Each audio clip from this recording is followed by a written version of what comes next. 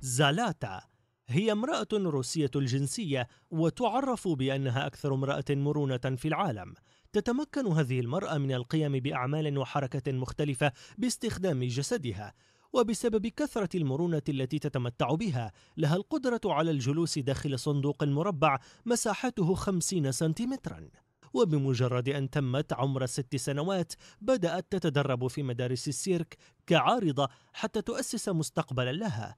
لديها حالة نادرة جدا مما يجعل عظامها مرنة بهذه الطريقة ويمكنها القيام بأوضاع تجعلك تظن أن هذا مستحيل على الإطلاق. حاول الأطباء دراسة وفهم هذه الأشياء التي تسبب مرونة جسمها ولكن على الرغم من ذلك لم تتوقف عن ممارسة الرياضة التي تساعدها على القيام بمثل هذه الحركات النادرة التي سببت لها شهرة واسعة حول العالم.